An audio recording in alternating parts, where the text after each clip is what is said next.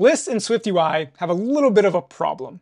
If you need a view to be floating on top of that list, for example, a mini player in a podcast or music app, a text input field for a messaging app, a custom tab bar, or maybe a floating button to send a tweet. This is a pretty common occurrence, and as you can see here in my preview, if you have that view on top of the list, the last item in your list will be blocked by that view. What we need is the list to be able to scroll up to about here.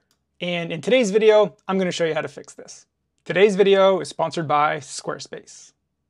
All right, in Xcode, in my starter project, which is a super basic list, as you can see, 20 items in my list with an episode cell, which down here is just an HStack with this purple rectangle that you see over there, and then the title and subtitle, super basic SwiftUI layout, nothing crazy. But what you'll notice, and this is probably the solution you might initially think when you're trying to have a floating view above your list, is to throw it in a Z-stack, alignment bottom, so we have our list, and then on top of the Z-stack here, we have a rounded rectangle, which is the pink transparent rectangle down there at the bottom of the Z-stack. But again, this results in what you see over here, it just blocks the last item in the list. We would like the list to scroll up to right about there. Now another thing you might think, oh, well, I don't want that to block it. Why don't I just throw my list in a V stack instead of a Z stack? So let's change the Z stack to a V stack, get rid of that alignment bottom. And now we don't have the desired look we want. As you can see, our list stops above the button and we don't want that. We want that nice edge to edge full screen experience which is why we went back to the Z stack. So I'll do Command Z a couple times to go back to the Z stack. Here we are, we're back to that full screen experience with just the view floating over it. So how do we fix this? Well, on our list, we can put a modifier called safe area inset, and you can see there's edge, alignment, spacing. I'll do option click to show you all the parameters, but for the edge, we want bottom, right? Our view is on the bottom. Of course, if your view is on the top, we'll do that. Alignment defaults to center. Our view is full screen, so we're not worried about alignment, but if you did have that floating Twitter button that you see here, course you would mess with alignment there, pushing it over to the right. Spacing again, if you need to add some extra spacing, we're not gonna do that. And then content.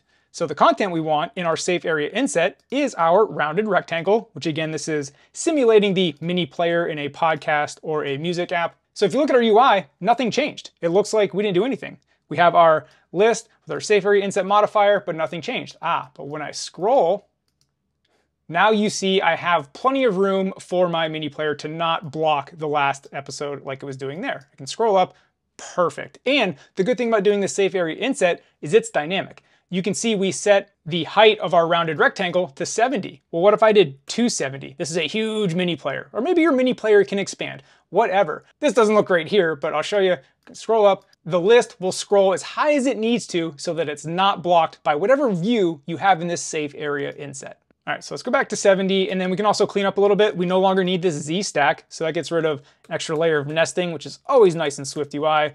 Highlight it all, Control I, get that back there, and we'll double check here. Scrolling back up, yep, we're good to go. That's the behavior we want. So again, if you're working with a list, you need a view floating on top of it, whether it's a mini player, text input field for messaging app, custom tab bar, floating Twitter button, whatever you need. You want your list to scroll up above that. Here you go, safe area inset. And if you're here learning this kind of stuff, I know you're building great apps, and I highly recommend having a iOS Dev portfolio website to showcase your work to let people know how good you are. And that brings me to today's sponsor, Squarespace. Squarespace is an all-in-one platform to help you get that iOS developer portfolio up and running very quickly. Now I know we're developers, we can build a website ourselves, but we're also iOS developers, and I would argue there's an opportunity cost of your time. Now, do you want to spend your time learning about web development, responsive design, all the different browsers, or do you want to spend your time building apps? So that's why I always recommend letting Squarespace take that off your plate to build your iOS developer portfolio. They have all kinds of beautiful themes and templates to get you started, and you can use their next generation website editor with the Fluid engine to just really unlock all the creativity in the world. You can even use Squarespace Blueprint and Squarespace AI to help you figure out what to write on your website, because that's always the hardest part. Like, I don't even know what to say here.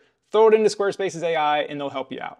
They handle all the SEO and analytics for you. Again, Squarespace handling your website just takes so much off your plate. So when you're ready to get started, go to squarespace.com. And when you're ready to launch, go to squarespace.com slash Sean Allen to get 10% off your first purchase of a website or domain.